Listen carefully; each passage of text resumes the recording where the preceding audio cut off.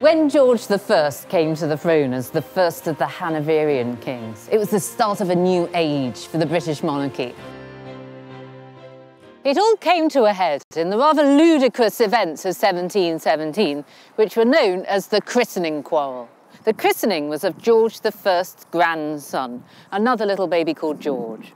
George I wants his Lord Chamberlain, the Duke of Newcastle, to be the godfather for the child, but makes this decree without consulting George II.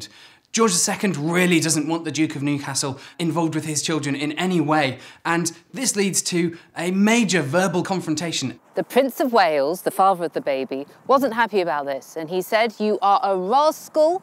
I will find you later to give you a piece of my mind. Unfortunately, because of the royal family's German accents, what the gate-crashing courtier heard was, You are a rascal! I will fight you! He took this as an invitation to a duel, a dreadful breach of court etiquette. There was a huge row, and the king expelled the Prince of Wales out of the royal palace.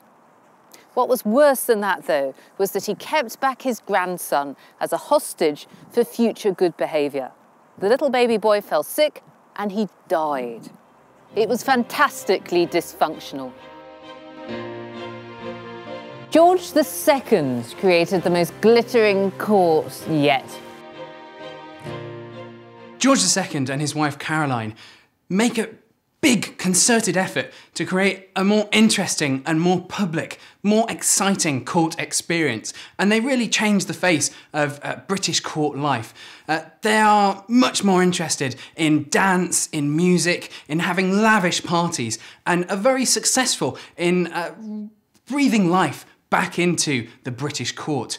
This is all despite the fact that George II is notoriously dull. He loves talking about facts and figures. He constantly has the same conversation with the same person uh, without realising what he's doing.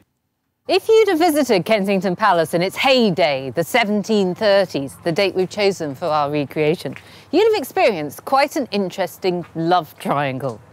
There was the King and the Queen, and then there was his official mistress. Her name was Henrietta Howard.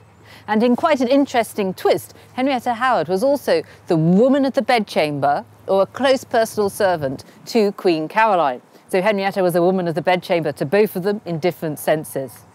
The courtiers didn't find it at all scandalous that the king had a mistress, and in fact they were pleased that he'd chosen an English one because they thought it would improve his English language skills.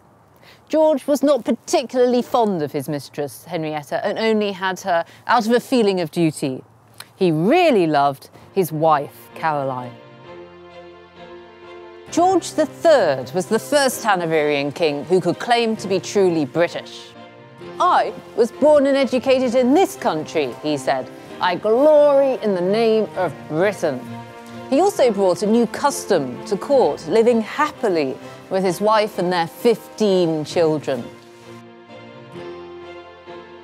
George III has what we might call an idyllic childhood. He has these very rigorous lessons in Kew Palace, and he's given this extraordinary education. He's taught the sciences, the arts, and architecture, and all of his tutors were the leading proponents of the day.